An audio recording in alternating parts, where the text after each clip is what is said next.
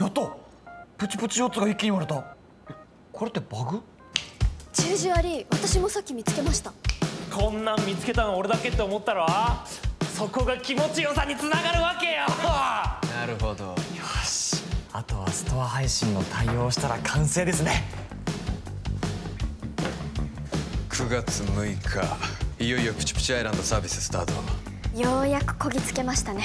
勝負はリリースしてからユーザーが課金するのは心が揺れた瞬間。心が揺れる？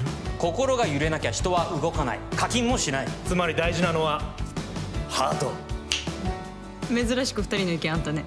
ゲームクリアに必要なアイテムの性能をうまく並べて難易度を調整する。ただし課金を狙って急に難しくするとユーザーはイラついちゃう。やりすぎないでくださいよ。そこのさじ加減が一番大事。OK よしここのパートは蛇島さんに任せて俺らは次のステージに取り掛かる。ダウンロード記念キャンペーン。ド派手に来てよ。なユーザーに思いっきり楽しんでもらいたいもんね。イベント設計とかも決めとかないとな。ガチャ工事も考えなきゃ。懐かしいなこの感覚